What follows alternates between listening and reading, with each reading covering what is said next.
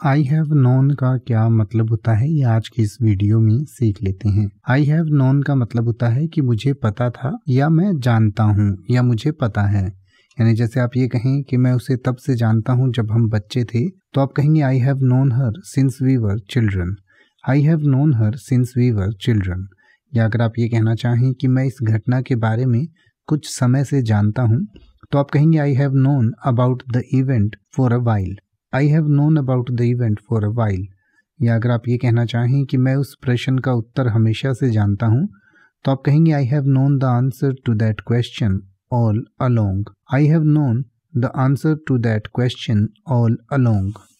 अब आप ऐसे ही किसी भी वर्ड का मतलब हिंदी और इंग्लिश में यूट्यूब पर सर्च कर सकते हैं। आपको मेरी वीडियो मिल जाएगी, जिसमें आप बिना किसी फालतू बकवास के सीधा उस वर्ड का मतलब समझ पाएँगे। तो ऐसी ही वीडियोस को देखते रहने के लिए चैनल को सब्सक्राइब करें और बेल आइकन को प्रेस करें।